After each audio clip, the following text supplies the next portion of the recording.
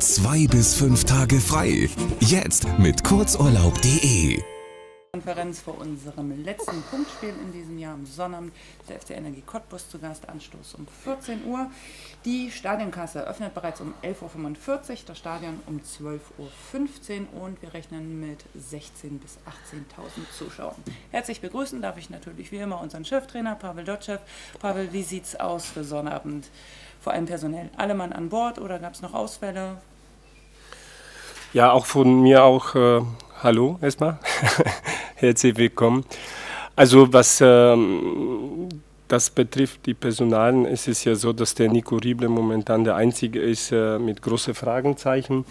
Ansonsten, äh, die Mannschaft ist ja auch sogar mit viel Ofuso fast komplett. Ähm, ob das jetzt reicht für viel Ofuso jetzt äh, für, für Startelf mit Sicherheit nicht, aber da, ob das jetzt auf der Bank sitzt, das äh, habe ich noch nicht mit ihm besprochen, muss ich gucken, wie er sich fühlt, aber der hat schon zwei Tage voll trainiert mit der Mannschaft. Vilevsev äh, ist auch jetzt voll dabei. Also einziger Spieler, wie ich schon erwähnt habe, ist ja Nico Rieble, der morgen nochmal testen will und dann wissen wir mehr.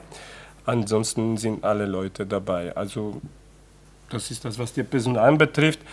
An, ein, ansonsten äh, letztes Spiel dieses Jahr, Kalenderjahr hier zu Hause ich denke schon, dass uns auch bewusst ist, äh, was wir gut gemacht haben und was wir nicht gut gemacht haben.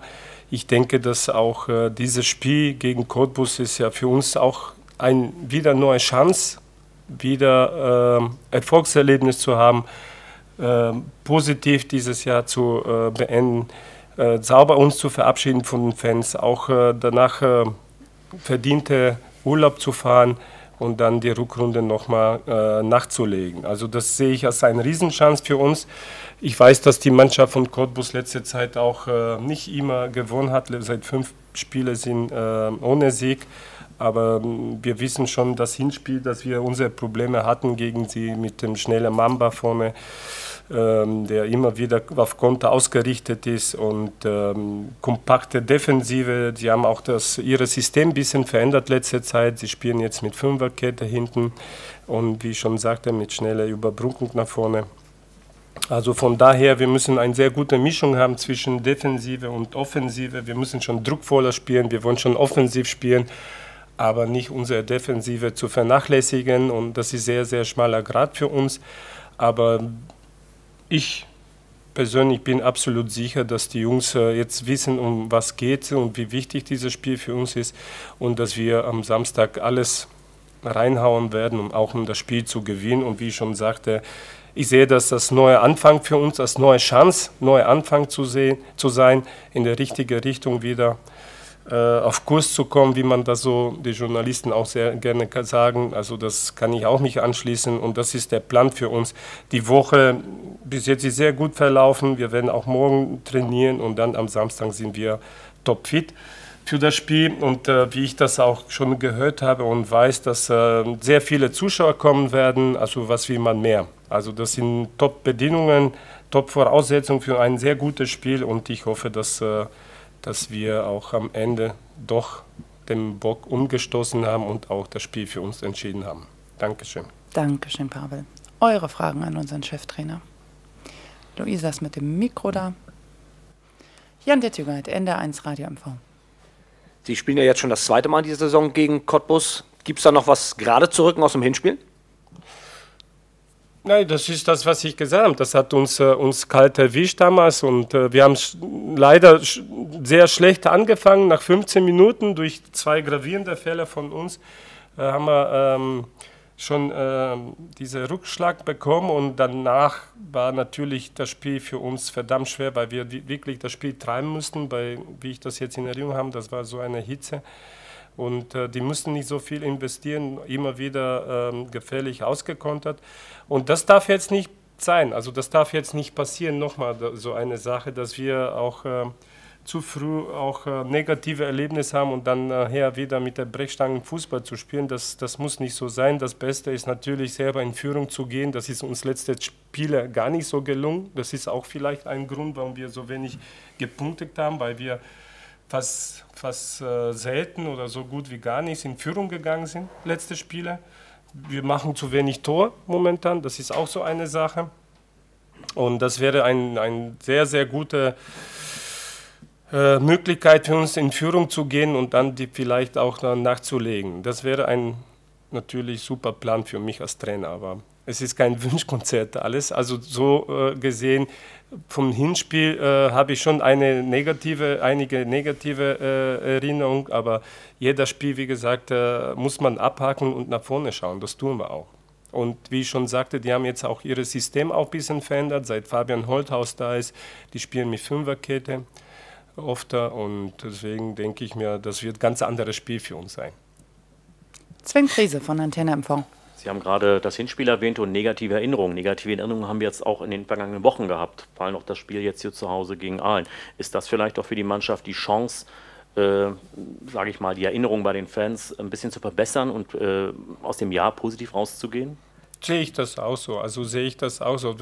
Das, weil wir letzte Zeit äh, äh tatsächlich so ein bisschen geschwächt haben. Mm, wenn ich das jetzt so sage, vielleicht ist ja auch ähm, nicht so ganz richtig, aber ich sage das trotzdem. Ich denke, dass die Spiele, die wir vorher nicht gewonnen, Jüdingen, Lotte zum Teil, ähm, Osnabrück, dass die Leistung schon sehr, sehr ordentlich war.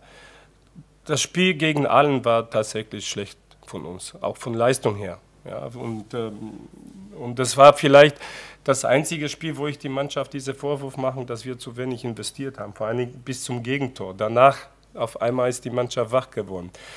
Und ähm, und ich sehe das auch so, wie ich das schon gesagt habe, dass dieses Spiel jetzt gegen Cottbus, nicht weil Cottbus ist und wir jetzt äh, leichte Aufgabe haben, aber ich sehe jedes Spiel für uns als eine Chance. Und jetzt Cottbus ist unser nächster Gegner und deswegen sehe ich das als wieder eine Chance, auch die, diese positive Trend wieder zu bekommen und auch sauber uns zu verabschieden, mit positiven Emotionen auch in so hochverdienter Urlaub zu fahren. Adrian Witwer von der Bild-Zeitung. Haben Sie unter der Woche nochmal irgendwas speziell unternommen, auf die Mannschaft eingewirkt, irgendwelche Ansprachen in der Kabine gemacht, damit sich so eine Leistung wie in, äh, jetzt gegen Aalen nicht wiederholt? Ich habe äh, Anfang der Woche mit der Mannschaft äh, einmal bis jetzt gesprochen und das war es eigentlich. Also ich habe jetzt nichts Besonderes gemacht äh, irgendwie so äh, Kletterpark oder Teambildung oder irgendwas, weil ich denke, dass äh, momentan das wird absoluten Aktionismus alles und das würde bei den Spielern nicht ankommen. Also wir haben ganz klar äh, Ansprache gehalten am, am, am, Montag, Montag war das, und ähm, danach normal trainiert wir werden auch morgen ganz normal auch ein bisschen auf den Gegner uns auch mal äh, einstellen mit Video, mit äh, kurzer Besprechung, wie was auch taktisch wir spielen wollen. Und das ist, das ist alles. Jan. Sie hatten ja nach dem Ahlenspiel gesagt, dass äh, die Mannschaft auf Sie verunsichert gewirkt hat. Ähm, wie groß ist jetzt die Gefahr im Hinblick auf das Cottbus-Spiel? Ähm, dass der Wunsch jetzt irgendwie einfach erstmal nur in die Winterpause zu kommen, dann sich doch auch im Spiel bemerkbar macht?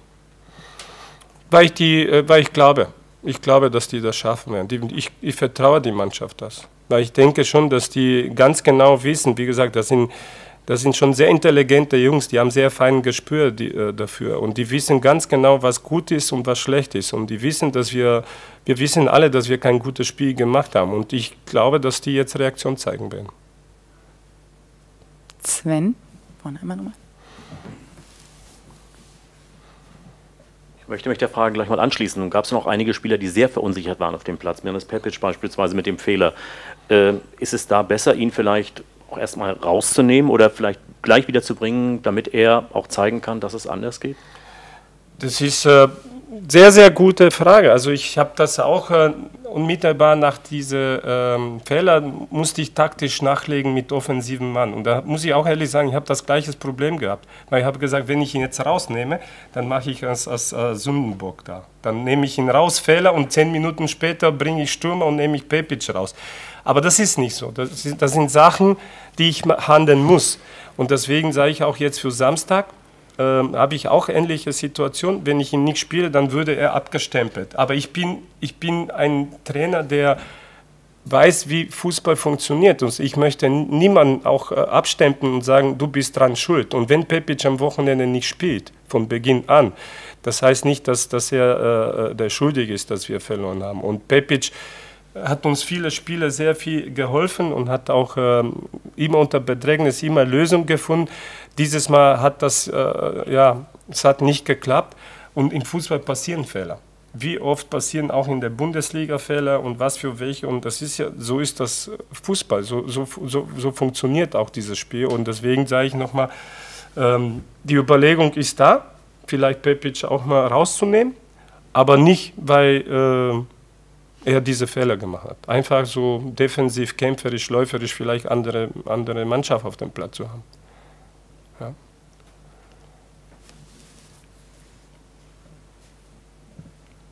Ali Bieber von Radio Loro. Nun kam ja, äh, ist jetzt Zeit, so eine Halbzeit, eine halbe Saison Revue passieren zu lassen. Gestern kam die erste Statistik raus mit den gelben Karten. Äh, Hansa ist das zahmste, das fairste Team mit den wenigsten gelben Karten. Ist das für Sie eigentlich eine Erfolgsmeldung? Oder sagen Sie, da müssen wir daran arbeiten, dass wir aggressiver, böser werden?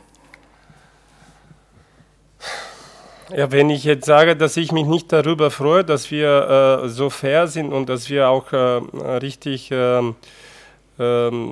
professionell uns verhalten auf dem Platz, das freut mich natürlich sehr. Aber von anderer Seite, was mich auch noch mehr äh, gefreut hätte, ist, wenn ich mal sieben, acht Punkte mehr gehabt hätte. Und das hängt irgendwie so zusammen. Die Karten sind vielleicht genau der Grund, warum wir nicht diese Punkte haben. Also da habe ich so ein bisschen gemischte Gefühle. Also ich freue mich schon sehr, weil äh, das, ist, das spricht für die Mannschaft, auch ein bisschen für die Charaktere unserer Spieler. Also das ist auch schon, manchmal ist genau das, was wir schon über lange Zeit darüber reden, ein bisschen naiv, äh, zu lieb in bestimmten Situationen wenn ich, äh, wenn ich sehe, Jürgen, was die für taktische Faust bei einem Spiel auf den Platz bringen, der Öztürk, glaube ich, heißt der, ein Mittelfeldspieler, der hat schon zehn gelbe Karten. Meine Mannschaft, komplette Mannschaft hat nicht so viele. Also, ähm, also ich sage es nochmal, gemischte Gefühle. Ja, ich freue mich schon, aber von anderer Seite ein paar Punkte hätten mir äh, mehr auf dem Konto, hätten mir, noch, hätten mir mehr Freude bereitet. Alle Fragen beantwortet? Nee. Ali hat noch. Vielleicht noch eine, eine, Weihnachtsfrage. Wir kommen hier rein, sehen den Weihnachtsbaum mit blauen Kugeln. Hat Ihr Weihnachtsbaum äh, traditionell rote oder blaue Kugeln zu Hause? Äh, ich weiß es noch, ich war noch nicht zu Hause. Ich muss jetzt gucken, wenn ich zu Hause bin, was wir haben. Aber ich weiß, dass wir so einen ganz kleinen Tannenbaum haben zu Hause und äh, symbolisch, weil meine Kinder schon ziemlich erwachsen sind. Aber ähm, unsere Weihnachtsfeier äh, es ist auch sehr traditionell, wird auch groß gefeiert wie hier in Deutschland. Der einzige Unterschied ist, dass wir kein Truthahn essen, sondern an dem Tag verzichten wir vom Fleisch. Generell, von Fleischprodukten und so. Da muss man fasten an dem Tag, um sich zu opfern. So zu sagen. Gut, dann hätten wir das auch geklärt. Dann vielen Dank und bis Sonnabend im Ostseestadion.